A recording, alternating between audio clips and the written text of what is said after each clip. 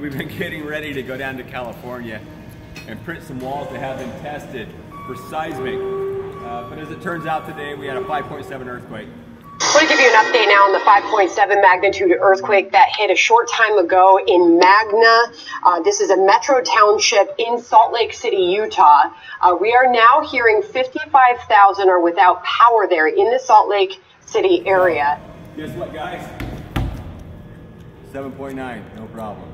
Um, come over here.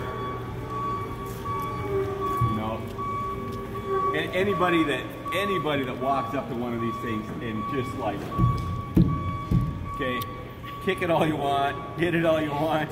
I mean, be as silly as you want. For the most part, you have a cinder block wall here. Cinder blocks 2100 psi. We're printing at 3 to 5000 psi.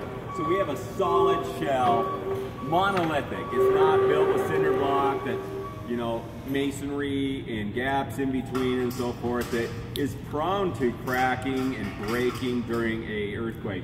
But 5.7 today, honest, and uh, amazing. I mean, our guys were so happy to run into work. It's like, holy shit, James, everything's, it's there, it still works. So come on in here. No matter what you're printing, no matter what wall size, come in here, Sarah. And by the way, it's Sarah's birthday today, so she was hoping not to be to work. But uh, yeah, there's our electrical right here. Come around.